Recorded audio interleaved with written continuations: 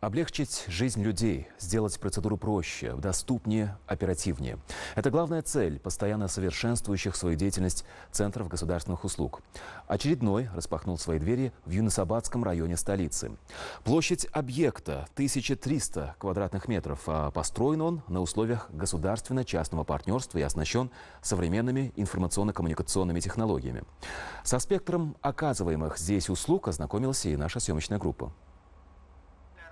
Более 180 видов государственных услуг в одном здании. Раньше об этом и не мечтали. Поделились жители Юнусабадского района. Действительно, центр оснащен всем необходимым. При строительстве учитывалось соблюдение всех норм и акцент на современность. Внимание уделили тому, чтобы каждый чувствовал себя здесь комфортно. Проблема с очередью также решена. Теперь она электронная. Получив свой номерок, можно будет сходить по делам. А если же решите остаться, свободное время можно провести с пользой. Для этого имеется информационный киоск и мини-библиотека. Кроме того, организован уголок здоровья, детская площадка, установлены информационные стенды и плакаты, чтобы граждане могли самостоятельно пользоваться госуслугами и быть в курсе новостей.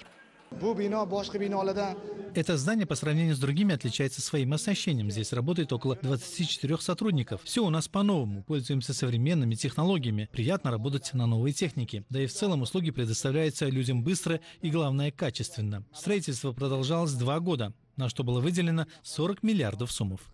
Еще одно нововведение – услуга по оформлению удостоверений личности. Это касается как граждан Узбекистана, так и иностранных, а также лиц без гражданства, постоянно проживающих в республике. С учетом мнения населения запущено специальное устройство NFC для пользования госуслугами. Оно идентифицирует гражданина по удостоверению личности и автоматически заполняет информацию о заявителе в системе. Также созданы необходимые условия для лиц с особыми потребностями. Оказываются услуги Сурда онлайн. Кстати, на данный момент в столице действует 12 центров центров госуслуг. Семь из них оснащены таким современным оборудованием.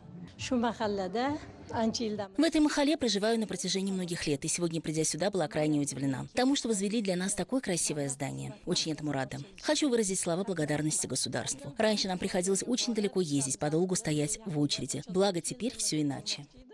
Центр обслуживает порядка 320 тысяч жителей Юнусабадского района, Ташкента и областей страны в экстерриториальном порядке. Что немаловажно, в новом здании есть специальная платформа, интегрированная с системой электронной очереди. Она позволяет оценить процесс обслуживания как сотрудников, так и клиентов. Это, по мнению специалистов, будет способствовать дальнейшему повышению качества обслуживания наших граждан.